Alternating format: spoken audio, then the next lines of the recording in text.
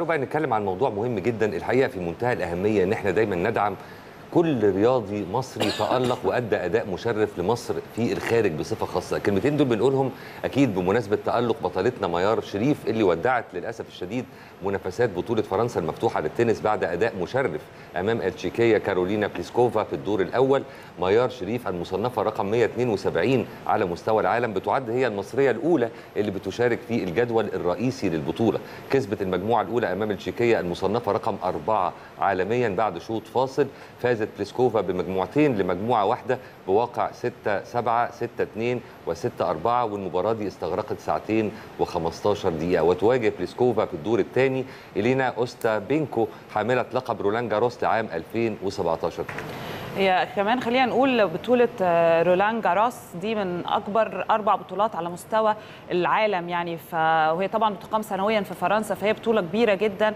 فيعني إن إحنا كمان نقول إن أول مصرية في التاريخ بتصل أو يعني بتتأهل الدور الرئيسي من هذه البطولة فأعتقد ده إنجاز كبير جدا.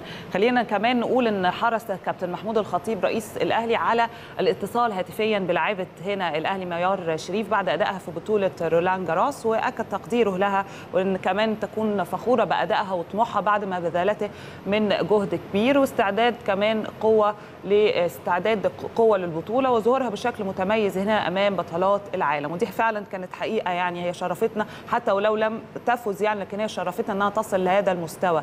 هنا عايزين نقول كمان كل القيادات الرياضية أعلنوا تهنئتهم ودعمهم ليها. وطبعا دكتور أشرف صبحي وزير الشباب والرياضة حرص كمان على تقديم التهنئة باللاعبه ميار شريف لاعبة منتخب مصر للتنس بعد الأداء المتميز وشدد كمان وزير الرياضة هنا على تقديم الدعم للبطلة المصرية ميار شريف اللي بتقدم أداء مبهر للغاية في مختلف البطولات اللي شاركت فيها واللي بتشارك فيها. فيعني نموذج مصري نسائي محترم جدا. ويمكن هي كان ليها مداخلة امبارح يا كريم برضو كانت بتقول إن هي بتسعى للف... تحديدا مع كابتن شوبير وبتقول إن هي كانت بتسعى للفوز وهي استمتعت جدا كمان باللعب وتفتقد الجمهور. فكل التوفيق ليها إن شاء الله في البطولات والماتشات يعني اللي جاية. عايز أقول لك دي قطعت شوط هايل يكفي إن إحنا بنتكلم عليها كواحدة رائدة لاعبة مصرية رائدة من لاعبات التنس إن هي توصل للمستوى ده وللمرحلة دي.